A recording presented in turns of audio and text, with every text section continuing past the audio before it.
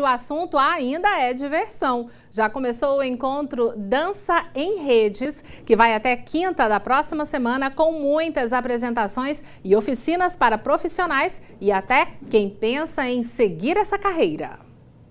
Essa é a segunda edição do Dança em Redes, promovido pelo Nômades Grupo de Dança e pela Associação Cultural Criativa. Durante os seis dias de evento vão acontecer oficinas, mesas redondas, ensaios abertos e apresentações com companhias de dança do Brasil e de fora.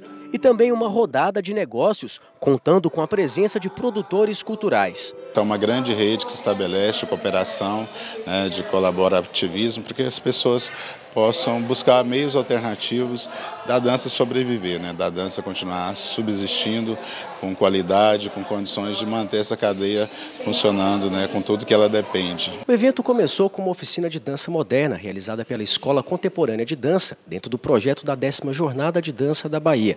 A proposta é se discutir a arte e a pedagogia, incentivando a prática, a pesquisa junto a alunos, professores e artistas, dentro dos princípios básicos da dança moderna.